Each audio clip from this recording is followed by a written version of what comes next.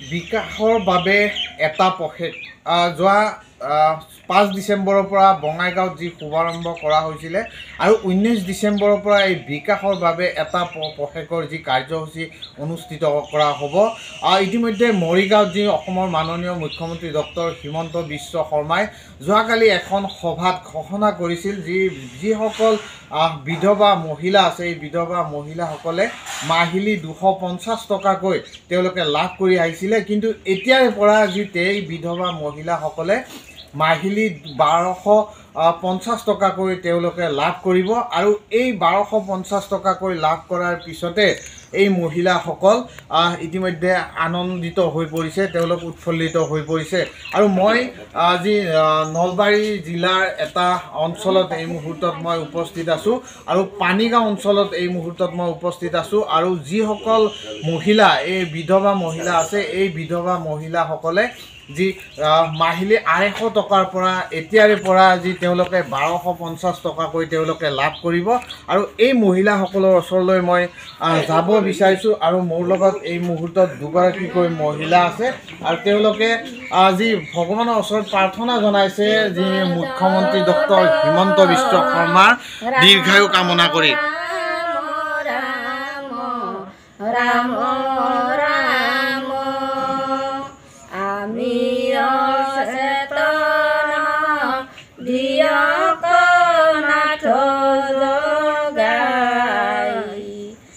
rồi khơ rượu tệ to ru bàn cơ yom ri kripa yom chi à, ya prachita doya moi krishna no pariya yudharo ram doya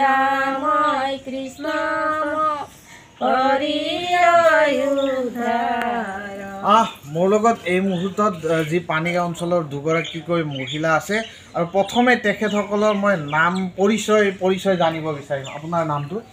মোৰ নাম শ্ৰী মিনতী বিশ্ব। বাইদেউ আপোনাৰ নাম প্ৰতিভা দেউতাক ঢুকুৱা আজি ডেৰ বছৰে হ'ল। এনেই বিধৱা পেঞ্চনটো পাইছোঁ। এনেই কোনোমতে চলি আছোঁ। ল'ৰাটো পঢ়ি আছে। এতিয়া বৰ্তমান মোক এটা ঘৰৰ দৰকাৰ আৰু এনে কিবাকৈ চলি আছে ছোৱালী দুজনী এনেকৈ চলি আছোঁ আৰু। আপোনাৰ আপোনাৰ আপোনাৰ এতিয়া আপোনাৰ এতিয়া আপোনাৰ এতিয়া বয়স কিমান? আঠচল্লিছ বছৰ বয়স। আঠচল্লিছ বছৰ। আপুনি কেতিয়াৰ পৰা পাবলৈ লৈছিলে আপুনি? আজি ছয়মাহমান হ'ল। ছয়মাহ আহ, মাহত কিমানকৈ পায় আপুনি? আঢ়ৈশ এতিয়া মুখ্যমন্ত্ৰী মহাশয়ে আপোনালোকৰ যি বিধৱা পেঞ্চন এতিয়া মাহত বাৰশ পঞ্চাছ টকাকৈ দিব। কি ক'ব এই ক্ষেত্ৰত? মুখ্যমন্ত্ৰী মহোদয়ক বহুত ধন্যবাদ দিছোঁ যাতে মুখ্যমন্ত্ৰী মহোদয়ে আমাক এটা ঘৰ কাৰণে আবেদন কৰিছে। অঁ এয়াই আছিলে এগৰাকী যি বিধৱা মহিলা মাহত আৰু আঢ়ৈশ টকাকৈ তেওঁ লাভ কৰিছিলে এতিয়া বাৰশ পঞ্চাছ টকাকৈ লাভ কৰিব অতি আনন্দিত অন্য এগৰাকী বাইদেউৰ ওচৰলৈ গৈছোঁ। কি নাম আপোনাৰ? মোৰ নাম অঁ আপুনি মাহত আগতে আঢ়ৈশ টকাকৈ লাভ কৰিছিলে এতিয়া বাৰশ পঞ্চাছ টকাকৈ লাভ কৰিব। এই ক্ষেত্ৰত কি ক'ব মুখ্যমন্ত্ৰী মহাশয় যি পদক্ষেপ। এখনি অলপ সহায় কৰিছে মোৰ ভাল লাগিছে। আপুনি কেতিয়াৰ পৰা লাভ কৰিছিলে? এইটো হ'ল আজি দিনে হ'ল। ছয় সাত ছয় সাত মাহমান হ'ল লাগে। না বেছিয়ে হ'ল। অঁ এইখিনি তেওঁলোকে মোক সহায় কৰিছে। ধন্যবাদ দিছোঁ। আহ, বিশেষকৈ মুখ্যমন্ত্ৰী মহাশয় যি পদক্ষেপ লৈছে এই পদক্ষেপ নিশ্চয় আদৰণীয় পদক্ষেপ।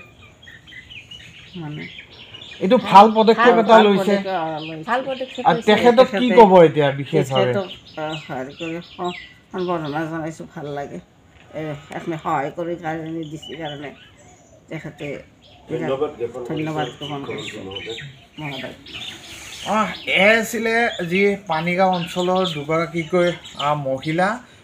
এইসকল মহিলাই যি তেওঁলোকে স্বামী ঢুকোৱাৰ পিছৰে পৰা তেওঁলোকে মাহত যি দুশ পঞ্চাছ টকাকৈ লাভ কৰি আহিছিলে। আৰু এতিয়া তেওঁলোকে মুখ্যমন্ত্ৰী মহাশয়ে এ, ঘোষণা কৰাৰ পিছত এওঁ এইসকল মহিলাই বিধৱা মহিলাই এতিয়া মাহত আঢ়ৈশ টকাৰ পৰিৱৰ্তে এইসকল মহিলাই এতিয়া বাৰশ পঞ্চাছ টকাকৈ লাভ কৰিব। আৰু আমি এন বি নিউজ আহি এইসকল মহিলাৰ ওচৰত আমি তেওঁলোকৰ মনৰ ভাৱ বুজ ল'লোঁ। আমি আৰু এইসকল মহিলাই প্ৰাৰ্থনা জনাইছে যি মুখ্যমন্ত্ৰী মহাশয়ৰ দীৰ্ঘায়ু দীৰ্ঘায়ু কামনা কৰিছে। আৰু ভৱিষ্যতে এইসকল মহিলাৰ যি তেওঁলোকে মুখ্যমন্ত্ৰী মহাশয়ৰ যি তেওঁলোকৰ অভাৱ অভিযোগ আছে এই অভাৱ অভিযোগ ক্ষেত্ৰতো মুখ্যমন্ত্ৰী মহাশয়ৰ পৰা সহায় বিচাৰিছে।